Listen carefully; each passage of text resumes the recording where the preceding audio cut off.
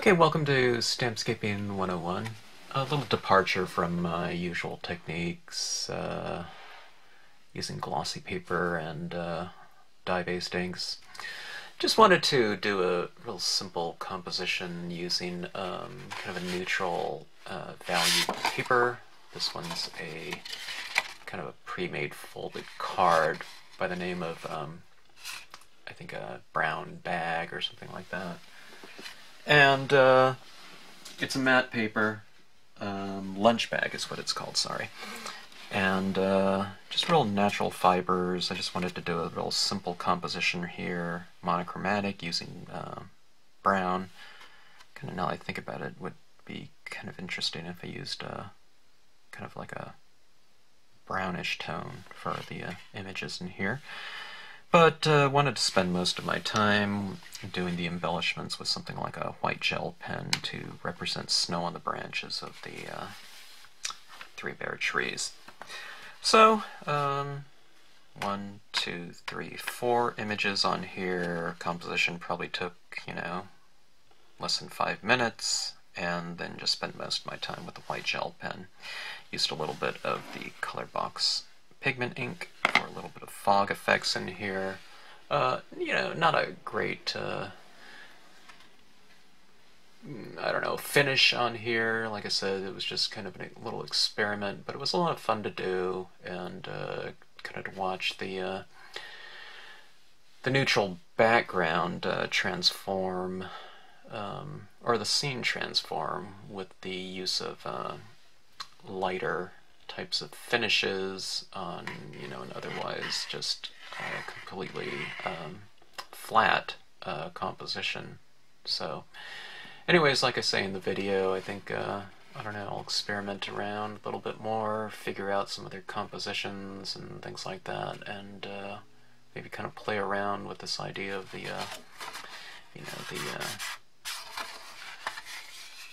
kind of neutral um, valued background um, and just going with uh, you know your darks and lights on it too so. But anyways like I said uh, maybe that sepia looking uh, type of ink would be uh, kind of interesting to use on uh, you know this kind of uh, card and using this type of technique. So anyways um, hope you enjoy the process if you decide to watch it and like I said, just a little experiment here. Okay?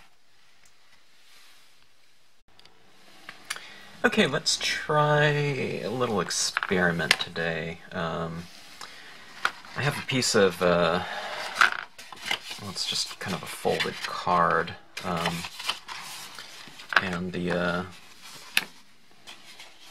the type of uh, cardstock that it is is uh, just a real raw looking natural um, paper or fiber. And uh, the name of this uh, card is called lunch bag. So you, you can get kind of get an idea of uh, what color we're talking about. It's fairly thick. It's probably like a 10 point thickness on this card. But um, anyways I mean the real specifics of this um, cardstock isn't really important the important thing is that I'm starting with a, oh, I would say it's like a 40 to 50% um, kind of shade, you know, in terms of uh, light to dark. Um, it's going to be a real simplistic um, color scheme, and then I'm just going to be using uh, black and uh, going back into it with uh, some white gel pens. Maybe I'll use a little bit of uh, pigment ink as well, I don't know. But this is just like um, doing one of those little really fun and effective exercises where you do, um, you start off with a, a mid-tone and um, you work your um, kind of your, your darker tones and your light tones over that more neutral um, gray tone in terms of uh, value. Okay, it could be any color. This one's more of a warm brown, but um, uh, kind of starting from that midway point instead of always starting with a white piece of paper. You can start with those midtones and then go into it with uh, things like uh, pastels, Conte crayons, um, etc. Uh, white colored pencils work great. Okay, now I'm working on this. Like I said, this just happens to be a, a folded card that I uh, purchased, um, you know, in that incarnation.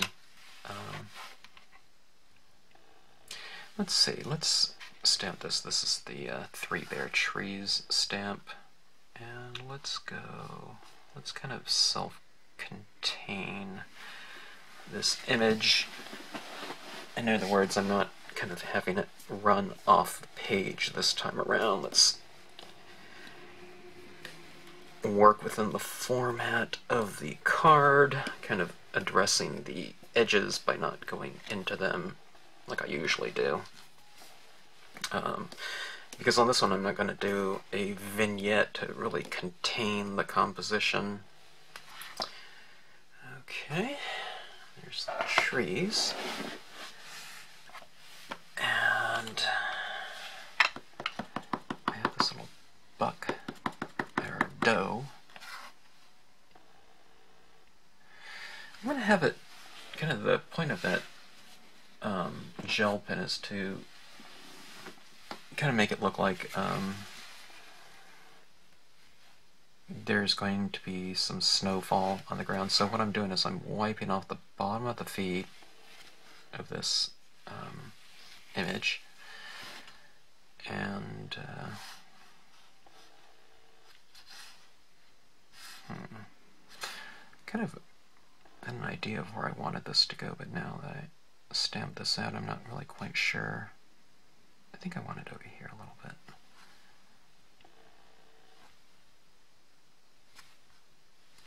Kind of semi the rule of thirds.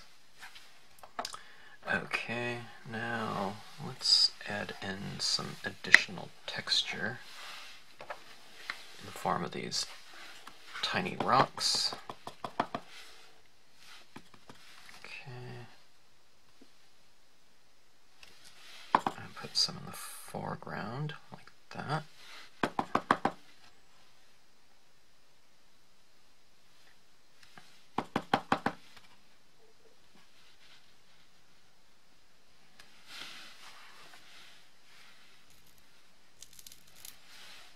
using the tack and peel on my acrylic block, which allows me to put the raw rubber uh, die uh, onto it for the temporary mount.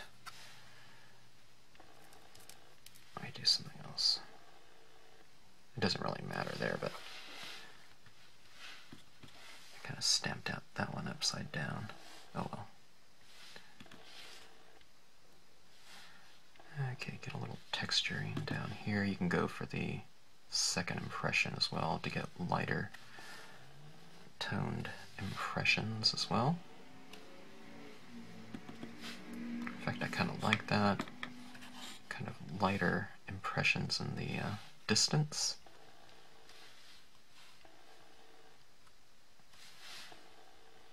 Okay, kind of a little composition like so. Now, hopefully we can kind of bring it to life a little bit more with the use of highlights.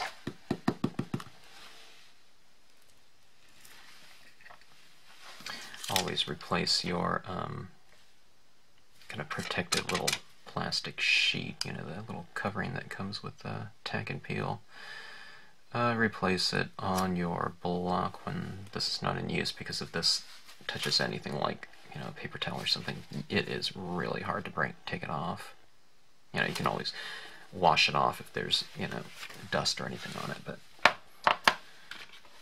Okay, now let's see if we can add in some snow. Let's see if this even shows up. Sometimes I wasn't really quite sure if this uh, white would show up on this colored paper or not.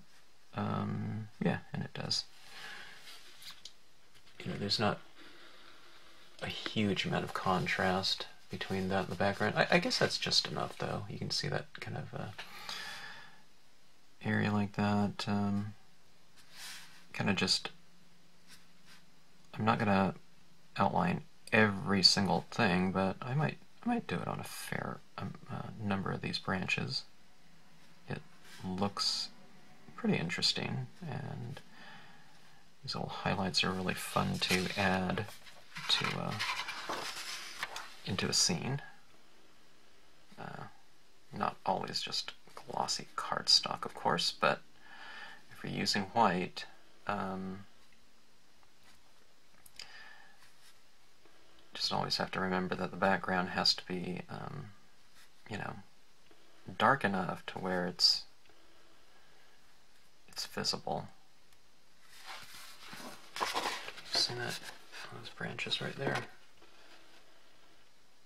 Kind of looks a little bit more wintry, huh?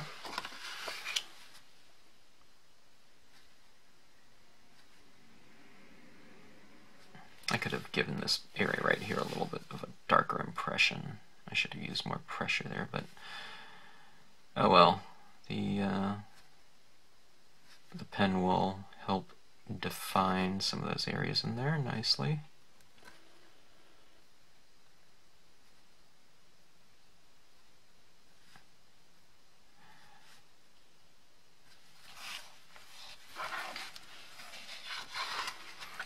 Um, this pen happens to be a Pilot Juice 0.7 um, millimeter um, ball.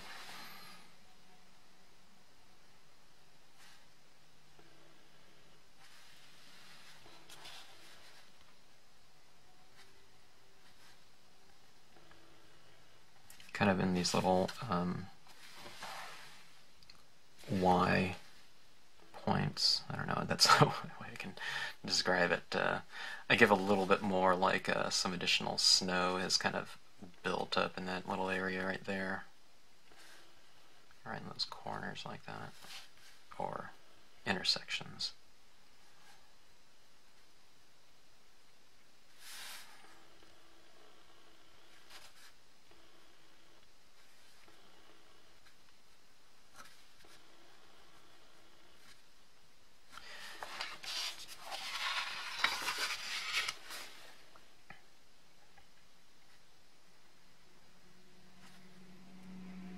It's kind of strange not doing a uh, you know scene with just layers and layers of ink like I normally do.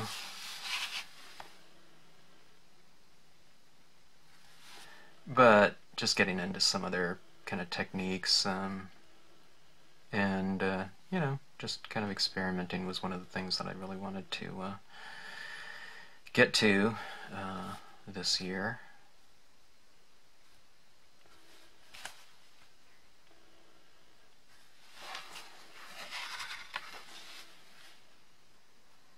It's kind of one of those things I have to kind of force myself to, uh, you know, to to get in these other get into these other looks. It's like uh, going to a restaurant or something like that, and always kind of ordering the same thing. You know, it's like it with my uh, color schemes. I mean, I can come up with you know different looks based on what color scheme I'm working with and kind of the strokes that you use and all that, but uh, you know.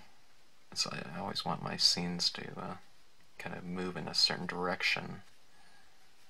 I'm having fun doing this, though. I love working with this white pen, so this is a kind of a different look.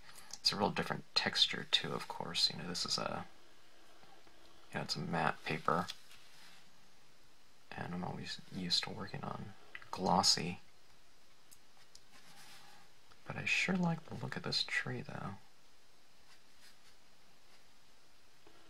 If I added this much white to, you know, one of my typical scenes, it would probably be too much. But this, it's, uh, I don't know, I guess with the texture of the paper and the, uh, and the value of it, um, not being so dark, um, the white um, doesn't stand out so much. Okay, let's see. Let's make some of these little clumps of snow on some of these branches a little bit uh, thicker, just so we get a little bit of more of a variety.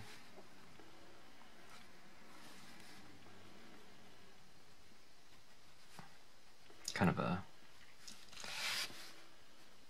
little bit more of a variety of line, I guess you can say.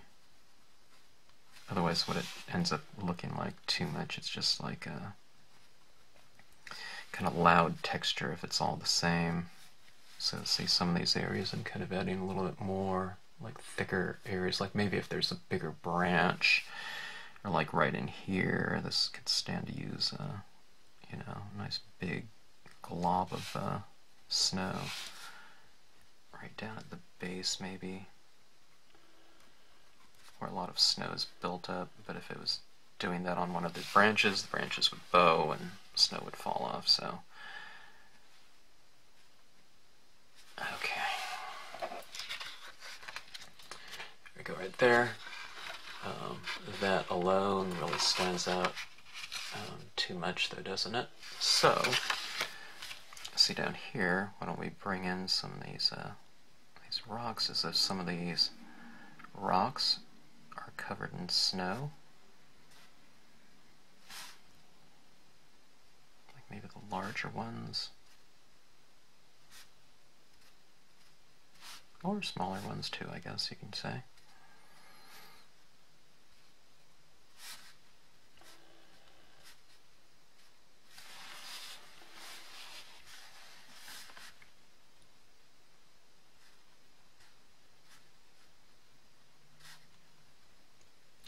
Said, you don't have to put it on all of them. Maybe that would be too monotonous anyway.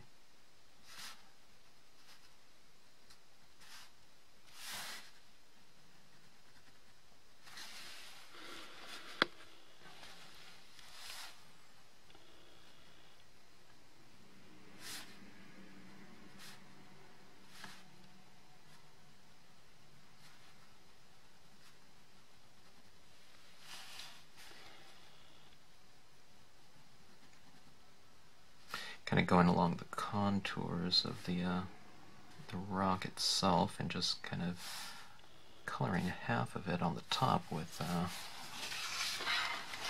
white gel. Okay.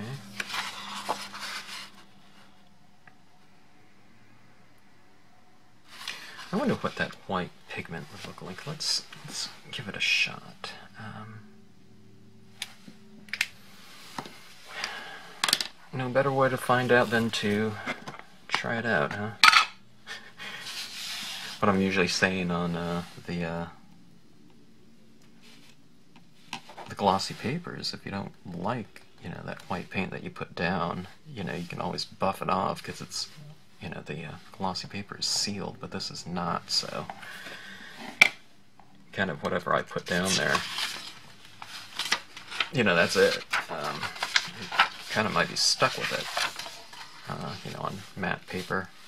So, that being said, I really inked this up and I've dabbed a lot of it off. I've kind of smashed, you can see how, um, kind of, sorry, smash this tip is. It's really flat now. Okay.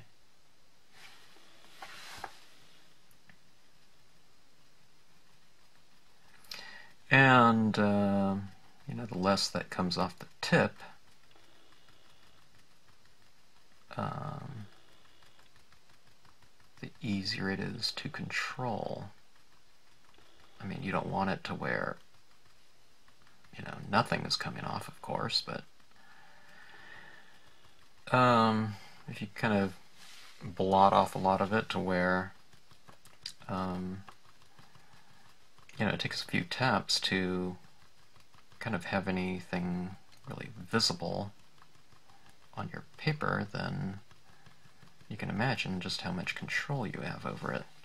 What happens is a lot of times people get kind of impatient because you put a couple dabs down and barely anything is showing, so they go, you know, they ink it up harder and they do this, and there's big, huge, thick blobs of ink everywhere, you know, which is really not what you want, um, right? So this is very much like dry brushing, you know, something on except instead of using paintbrush, you're using cotton swab. But kind of think of it like that, you know, the dry brushing technique. I'll put the little doe and a little bit of fog as well.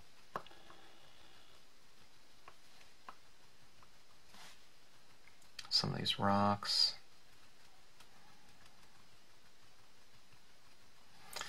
A little bit of uh, fog in the background.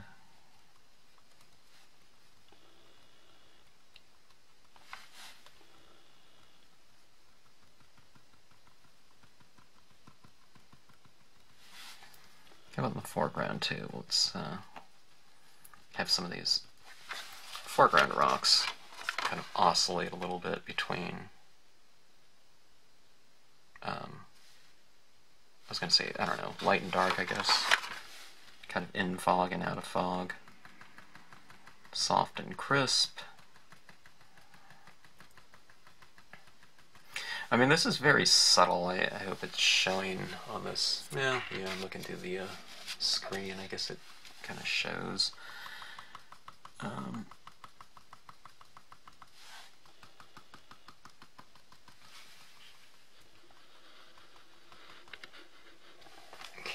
That's what the card looks like.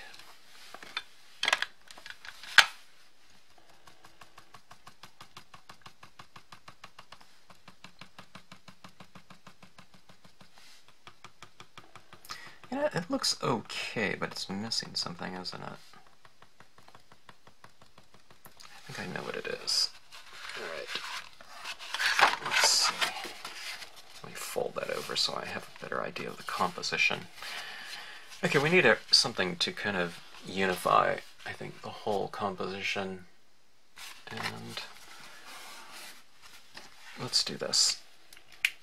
Um, I'm going to have Snowfall coming in to this card, this composition, in the form of little white um,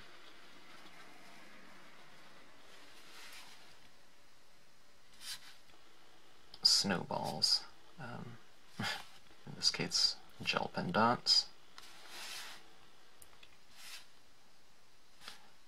So it's kind of like running a texture over everything. Don't forget to, you know, have it kind of falling on your trees, um, in front of some branches, you know, draw right over the top of, uh, you know, a, a branch.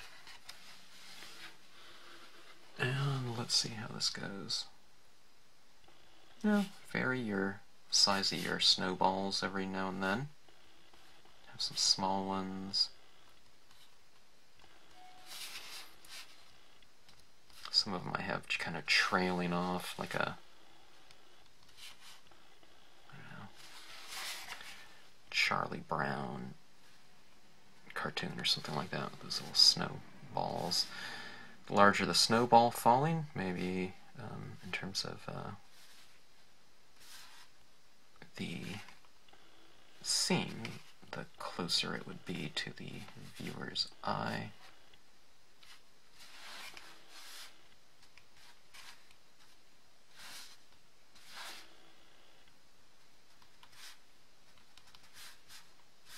Yeah, it's kind of coming together a little bit, I guess. And this is my kind of first little experiment with this type of thing. Uh, yeah, I could use a little bit of work, but um, I think this uh, I know, warrants uh, further um, experiments. I'll have to uh, think about um, kind of some compositions that might uh, be really uh, good for this technique or kind of method.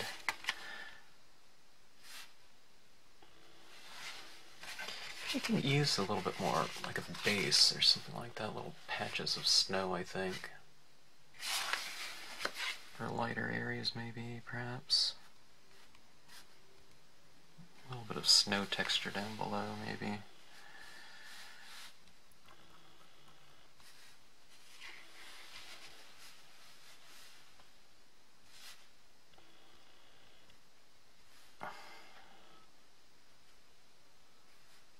This isn't supposed to be snow on this uh, doe, but just to kind of put a little highlight on it.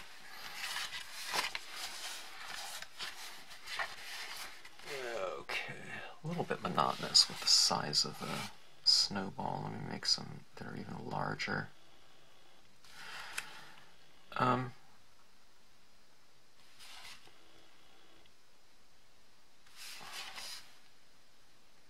these this variation also just kind of serves as texture too.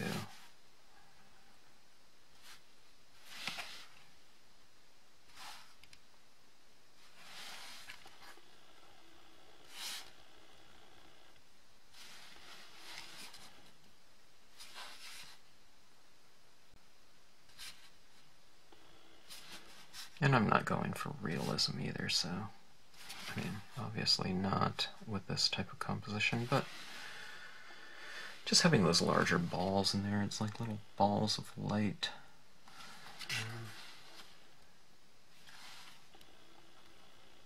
Okay, I'm starting to get a little bit too uniform in terms of my placement. I need to give a little bit more variation in terms of my dots. Everything was kind of too uniformly spread. I think it looks kind of strange that way. So group some, you know, have little groupings here and there.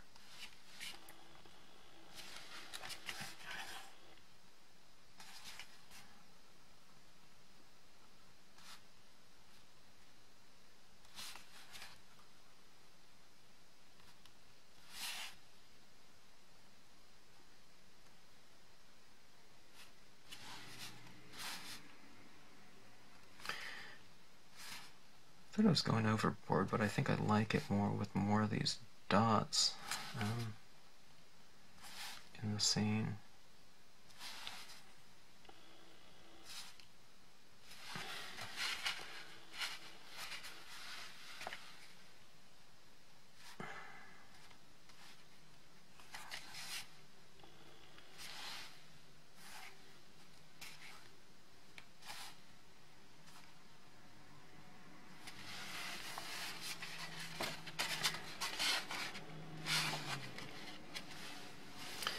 Let's make some of these little balls kind of glowing a little bit.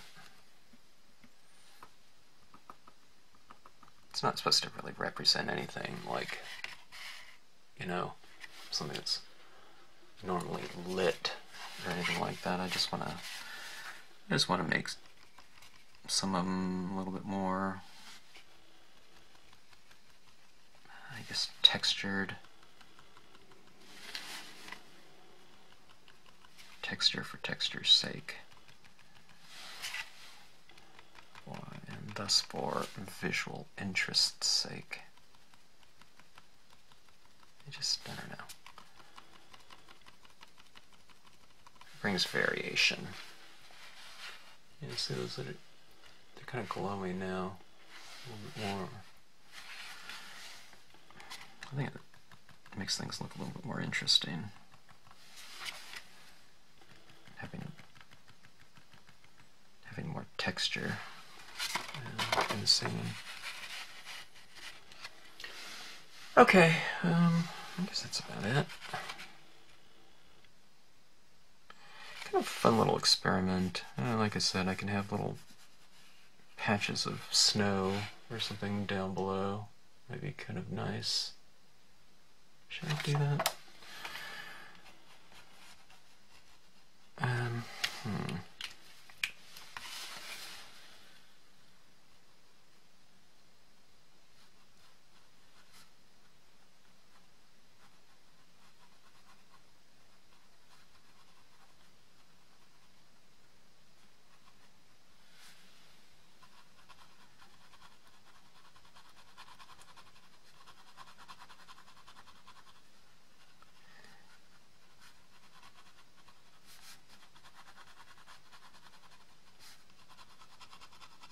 Could be a little patch of snow, could be a little patch of ice or something like that.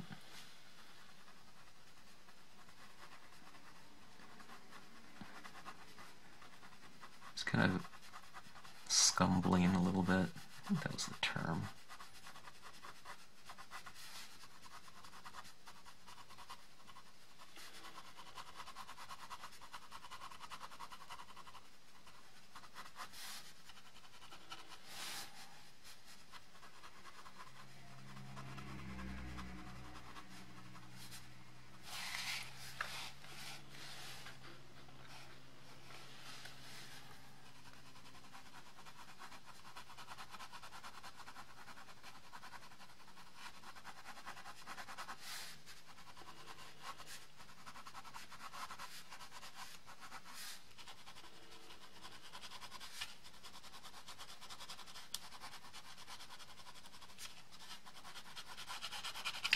Gives a little base to the tree, I guess.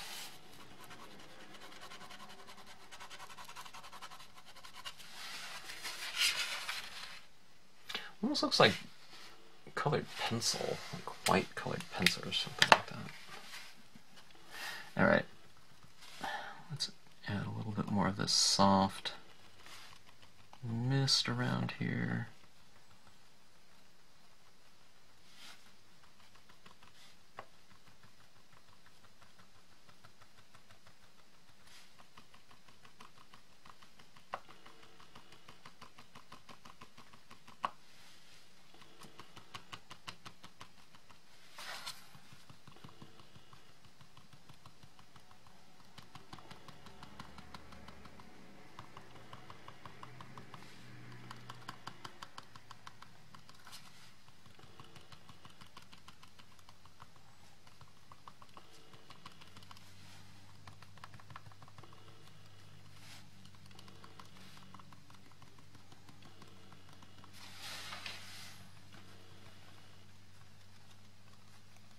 Kind of making these little bands of uh, kind of mist here.